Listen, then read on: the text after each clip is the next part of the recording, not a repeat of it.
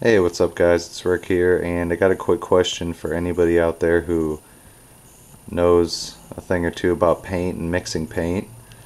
I'm uh, trying to come up with a color for this engine here and it's gonna look like a, a remanufactured type engine so I'm gonna go with a gray but I figured with the colors that I have already on here if I go with the light gray it's just I don't know it's not gonna look right in my opinion so I kinda want to create something a little bit darker and my question is, I mean, I know when I mix them together, obviously, the more, you know, black I add, the darker it's going to be, you know, stuff like that. But my question comes is that some of these grays are uh, flat, some of them are uh, like a satin, some of them are gloss.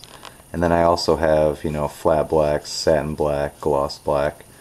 And I want to give the engine a mostly flat look because I want it to look like it's it's been in there for a little while you know, but I wouldn't mind if it had a little bit of sheen, kind of like this flat aluminum here, even the steel on top. So my question is, is how will mixing the paints affect the uh, overall um, shininess or dullness? You know, I can I can always hit this with Dullcote, you know, if I really have to, but um, I guess I'll get a little bit, of, I'll get a sample of each of these and maybe do a little bit of testing, but I hope you guys can see if you have uh, used these colors and you've mixed them before, feel free to let me know.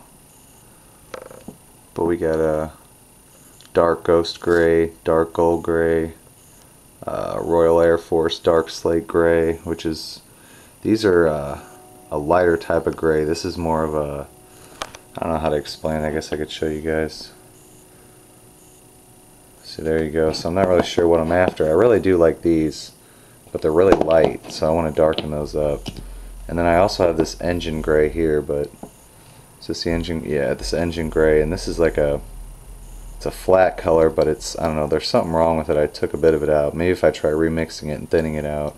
Oh that's another thing I want to know is when I mix these together what would you recommend? Because I'm just brush painting this not doing any kind of airbrush work or anything so what would you recommend as far as thinning it out I know, I mean, I wasn't gonna, I was gonna add a little bit of thinner probably just to help it flow better. Um, I noticed that heating it up uh, helps quite a bit, but you can see here on this, I don't know how well it's going to show up on the camera, but there's very slight brush marks. But it does look a whole lot better than what I started with. And I do need to go over it once more, but and I don't think it, I think it's just because I didn't warm it up enough, but looks good overall. And the intake and the exhaust actually came out really good. So there's that. So if you guys could help me out with that, I appreciate it.